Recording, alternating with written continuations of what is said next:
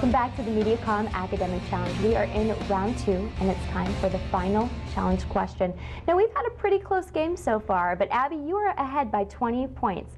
So strategy is going to come into play when you bet your wagers here. So I will give you the category. You can place your wagers based on the points you have. Abby, you have 65 points. Rob, you have 45 points. Are you ready for the category?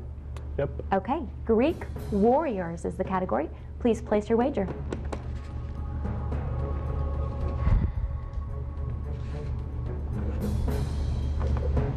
I will collect those.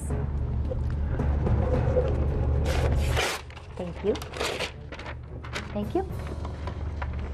And the question is, in the epic battle of Thermopylae in 480 BC, who was the Spartan king who led the 300? Can't believe I didn't see that movie. I know, I know. I'm seeing it this weekend, actually. It's ironic. Please write down an answer.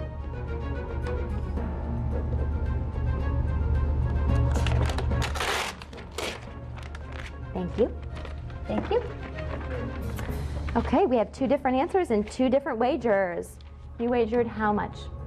oh, 35, I think. 34 points. and how about you, Abby? I think I did 20. You did 20 points. And the answer you gave? Hector. That is the answer you gave, and the answer you gave? I gave Spartacus. That is the answer you gave, and the correct answer is King Leonidas. Uh-huh. Abby, you will be advancing on to the quarterfinal round. The overall score, Abby 45, Rob 11. Good work. And good luck with the next round coming up. Well, thank you for watching the Mediacom Academic Challenge. Stay tuned because there's another match to follow. The third annual Mediacom Academic Challenge is brought to you with the support of the following sponsors. Atlantic Bottling, It's a Coke Thing, MidAmerican Energy, Obsessively, Relentlessly at your service.